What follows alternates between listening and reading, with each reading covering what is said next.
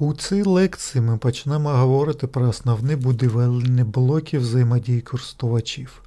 Будівельні блоки, які є практично в кожному типу додатків, які ви можете розробляти, чи то настольна система, чи мобільний додаток, чи, чи щось для носіння. Усі ці програми насправді на концептуальному рівні складаються з одних і тих же частин.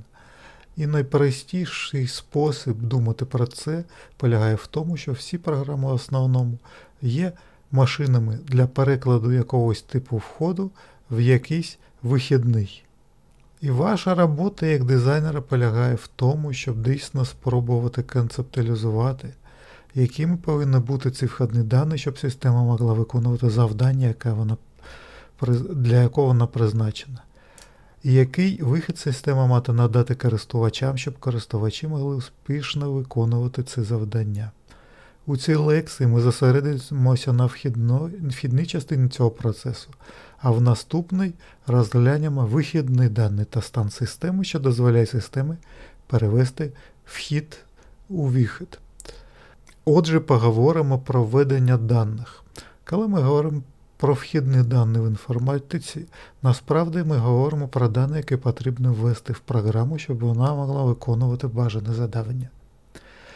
Завдання дизайнера в UX дизайні полягає в тому, щоб спробувати зрозуміти, які дані потрібно ввести в систему, а також як ці дані буде введені, щоб користувач мог міг ефективно використовувати систему і для системи мати всі дані, необхідні для виконання своїх завдань. На дуже широкому рівні варто розрізняти два типи ведення даних: ведення користувачем і пасивне ведення. Ведення даних користувачем насправді є введенням даних, які користувач активно виконує в системі. І робота дизайнера насправді полягає в тому, щоб налаштувати інтерфейси, які користувач може використовувати для введення цієї інформації в систему. Існує кілька типів користувальського введення. Насправді простий спосіб концептуалізації цього типу введення полягає в тому, що він складається з різних графічних елементів взаємодії користувача. Це такі речі, як кнопки, значки, меню та перемикачі, до яких користувач може отримати доступ і керувати ними, щоб повідомити системі, що він намагається зробити.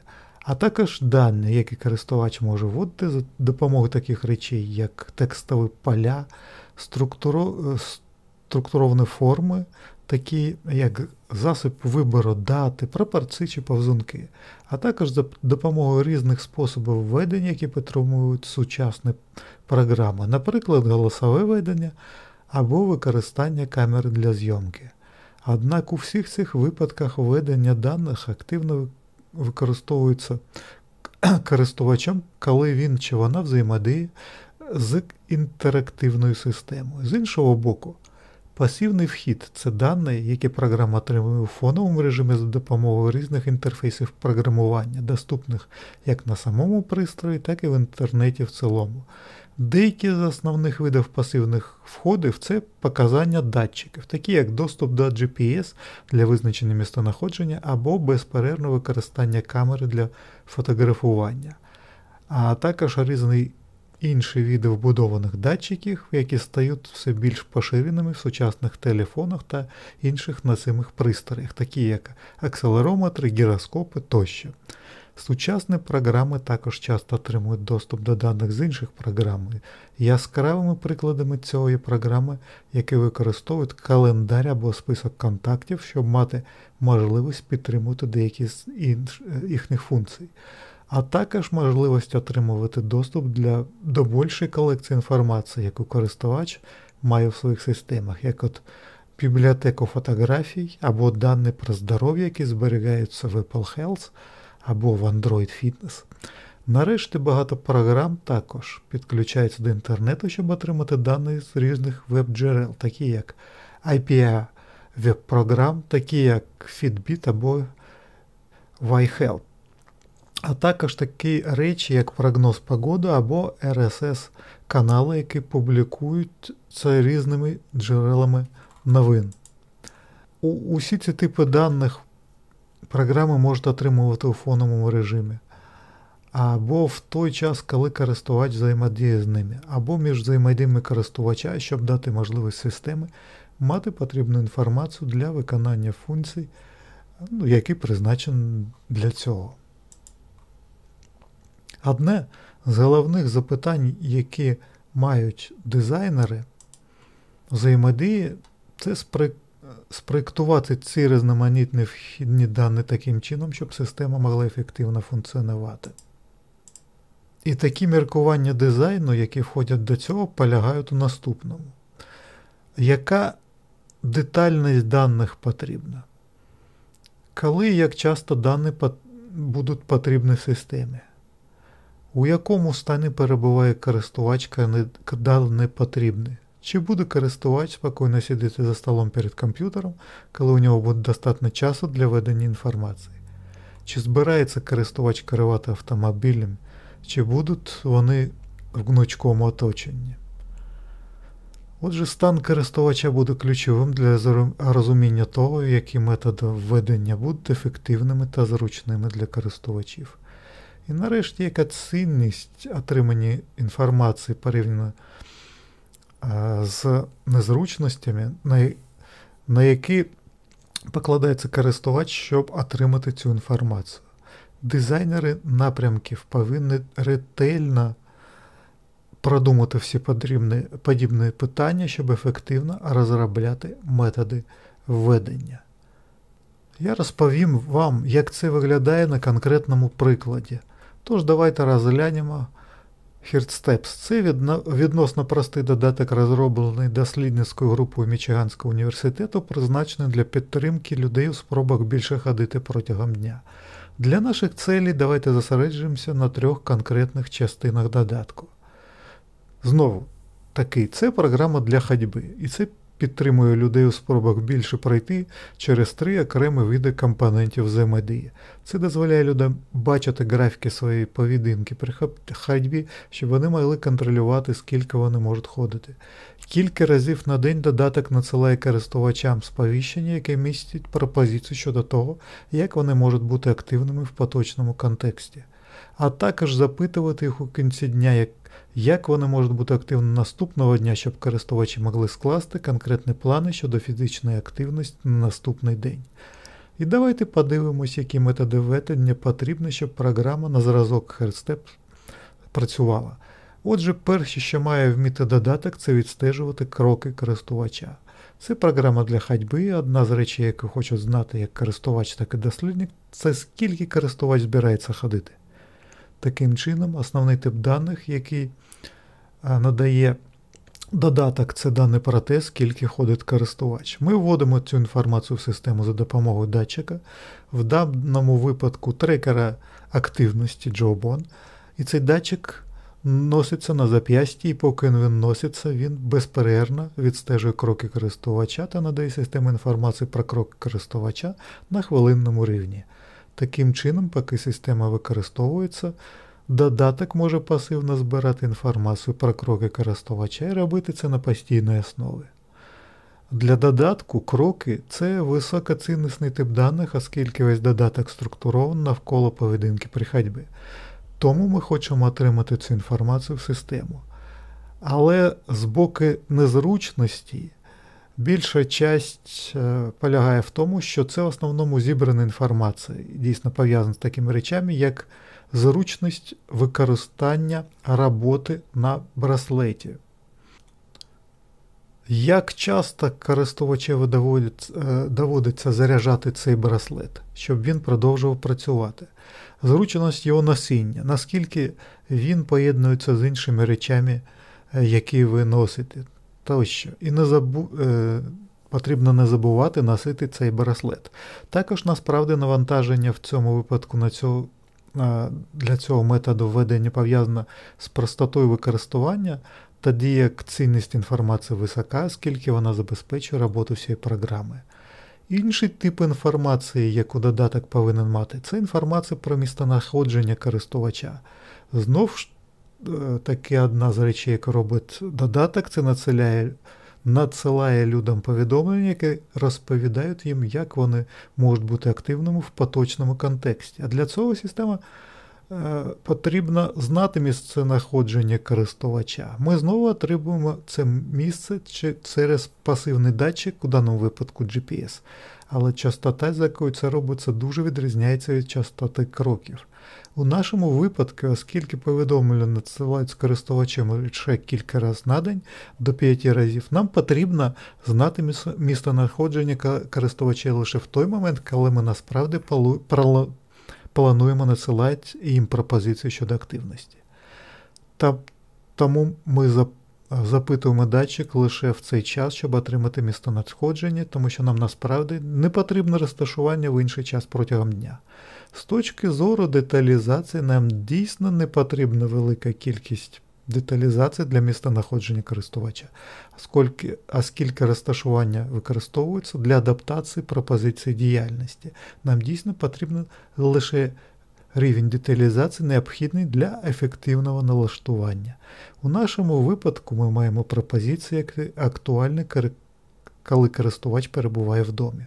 У нас є пропозиції, які актуальні, коли він на роботі, і у нас є широкий спектр пропозицій щодо діяльності, які загалом актуальні, коли користувач рухається протягом свого повсякденного життя. Тому щоразу, коли ми беремо місце розташування GPS, ми переводимо його на льоту лише в одну з цих трьох категорій: дім, робота та інше. І це єдине, що система насправді зберігає. З точки зору навантаження, головне питання, яке викликає містонаходження, пов'язане з конфіденційністю та часом роботи акумулятора. І це одне з міркувань, чому ми вирішили зберегти лише низький рівень частоти деталізації визначення містонаходження з телефонів користувачів.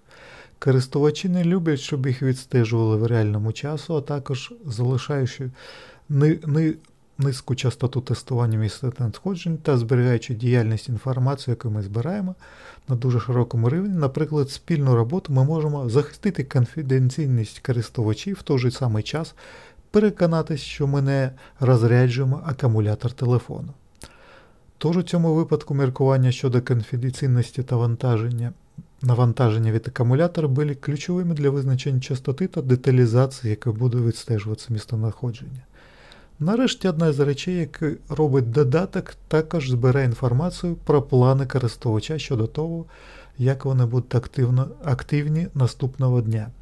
І це введений користувачем текст. Так, так тож це плани, які користувачі самі мають ввести в програму. І ми робимо це одним із двох методів введення. Ми можемо запропонувати користувачу ввести текст у вигляді речення в систему або вибрати із списку раніше введену інформацію. В обох випадках програма отримує фрагмент, тексту, який представляє, як користувач буде активно наступного дня.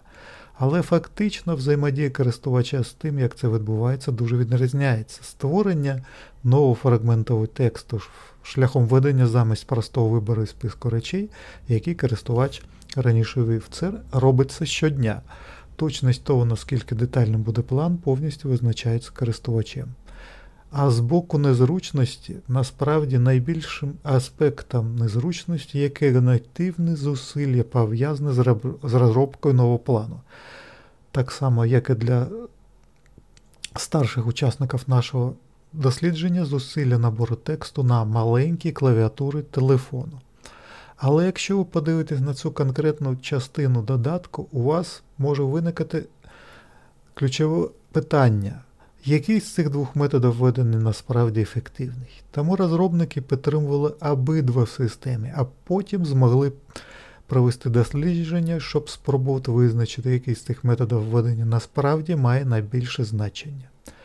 Отже, підсумковуючи те, про що ми ще не говорили, методи введення та розробка ефективних методів введення є основоположними для розробки ефективних технологій. У той же час формат Детальність і частота введення встановлюють обмежень на те, що програма може робити, і тому подібне маркування повинне бути дуже ретельно продумане в процесі проєктування. Наприклад, у випадку з нашими планами діяльності, враховуючи, що це просто текст, програми, програмі дійсно важко встановлювати автоматично нагадання на основі даних інструктора. Тож такі ж міркування застосовуються, наприклад, коли людина потенційно відстежує їжу за допомогою камери. Сфотографувати їжу набагато простіше з точки зору ведення користувача, ніж пошук їжі в базі даних. Але ці зображення набагато важче обробляти, щоб користувачі мали графіки того, скільки вони з'їли протягом певного часу. Тож саме те, як здійснюється видане даних у програмі, фундаментально змінює те, що ця програма може робити. У той же час на користувальницький досвід системи в цілому великий вплив оказує дизайн введення. Якщо користувачеві доводиться часто вводити дані в систему, це введення є трудоємкий, є ризик, що користувач в кінцевому підсумку буде розчарований, роздратований. А також, якщо збирається багато пасивних даних, у користувача можуть виникнути серйозне побоювання щодо конфіденційності програми. У той же час, коли все зроблено легко, якщо спроєктовано таким чином, що робить процес введення даних приємним, введення фактично може призвести до більшої взаємодії з програмою. А, Тобто е, це шлях в обидві боки. Ефективно розроблені вхідні дані можуть бути як бути як благом для взаємодії з програмою, так і якщо вхідні дані не розроблені належним чином, це може призвести до розчарування та потенційної відмови від системами. І нарешті, нарешті, хоча ми досі не обговорили це детально, невідповідність між станом користувача та модальністю введення може бути дуже проблематичною. Отже, якщо користувач часто використовує програму, коли перебуває в, перебуває в дорозі, гуляє або, можливо, в транспортному засобі, що рухається, вимагати від користувача багатовведення, наприклад, може бути неефективним способом ввести дані в систему, тому що це важко зробити, коли людина рухається. Отже, враховуючи такі проблеми, як стан користувача, а також формат Детальність і частота введення є справді важливим для розробки як методів введення, які будуть працювати для користувача, так і ефективності системи в цілому. У наступній лекції ми почнемо розглядати, як дані, що ми вводимо за допомогою таких методів введення, перетворюються на зворотний зв'язок користувача у, е, у формі виводу. Дякуємо за перегляд. До наступного разу.